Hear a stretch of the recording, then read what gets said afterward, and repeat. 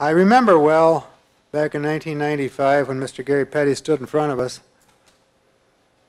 And the crowd was, as I recall, between 330 and 340. And he stated, he said, Headquarters has asked me to announce that it is no longer necessary to observe the seventh day Sabbath, and it's no longer necessary to tithe. And I looked around the room, and there were an awful lot of grins on faces.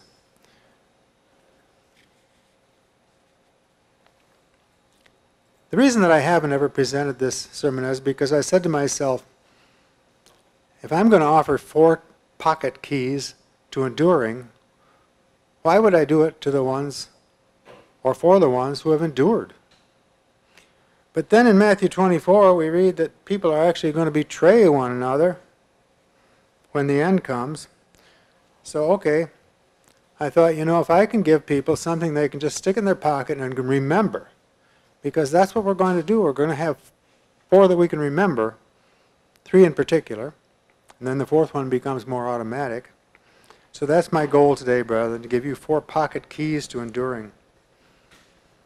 Key number one is that we can never compare ourselves to a human being. We have to always compare ourselves to God. Back in the late 70s, or thereabouts, you may recall there was a nation named Rhodesia. Today it's called Zimbabwe.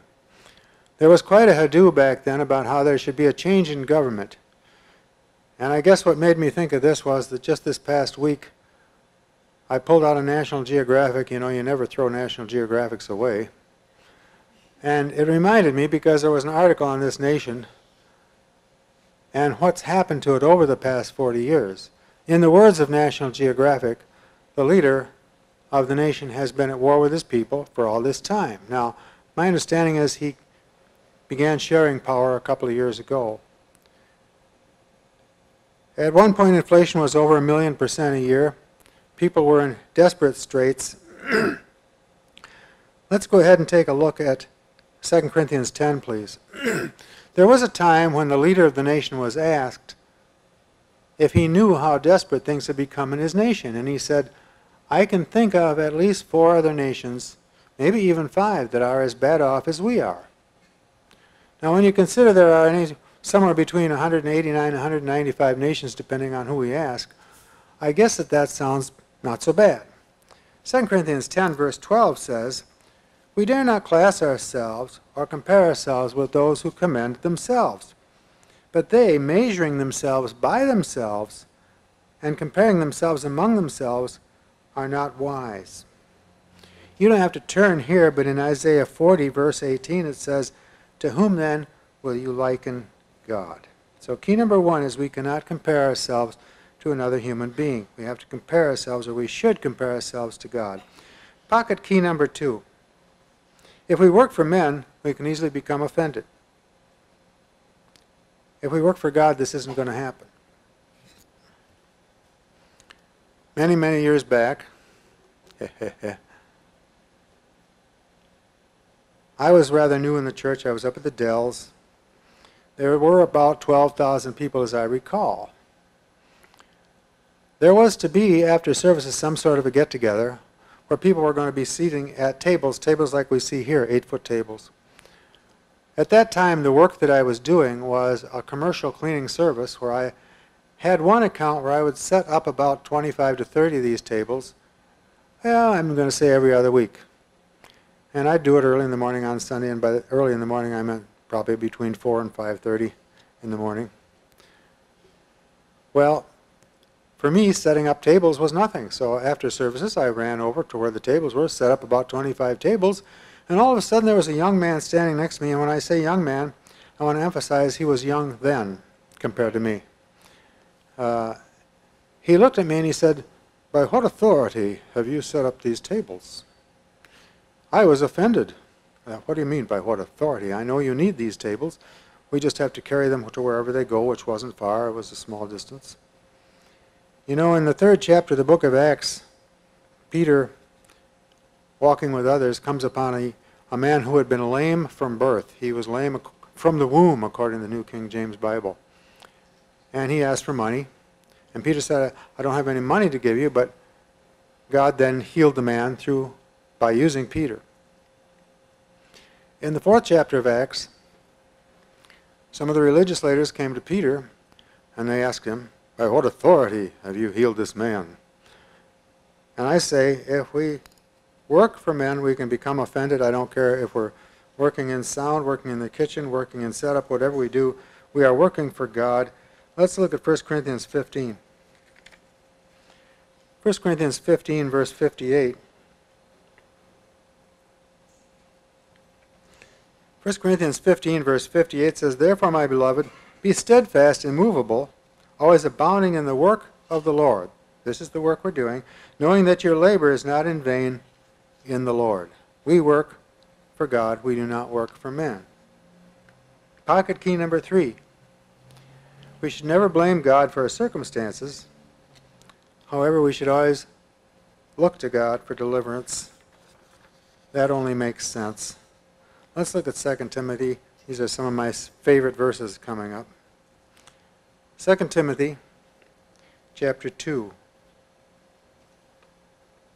And we'll start in verse 1. 2 Timothy chapter 2, verse 1, Paul writing to Timothy says, Therefore, you therefore, my son, be strong in the grace that is in Christ Jesus.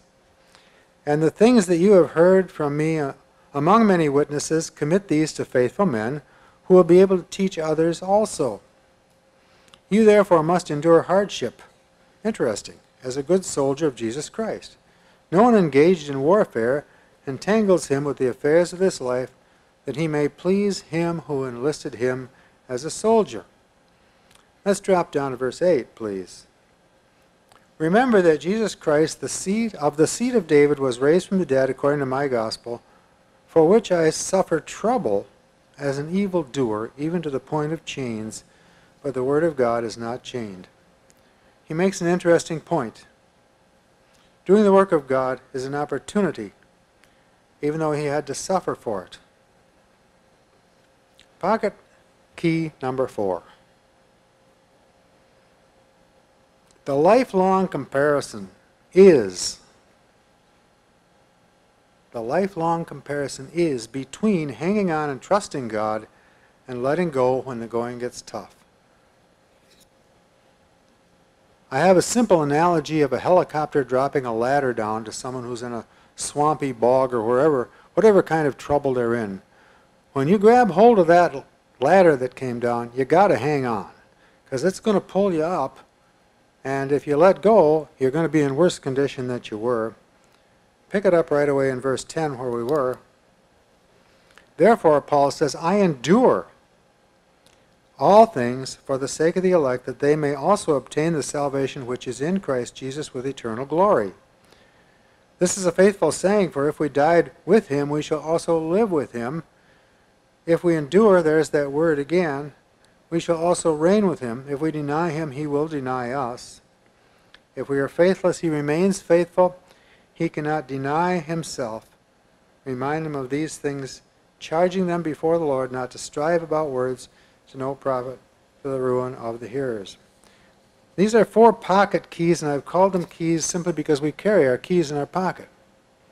And you can pull them out easily. There are three things that we have to remember, really. If we do that, the fourth one's going to be an automatic. Number one is we never compare ourselves to a human being. We compare ourselves to God.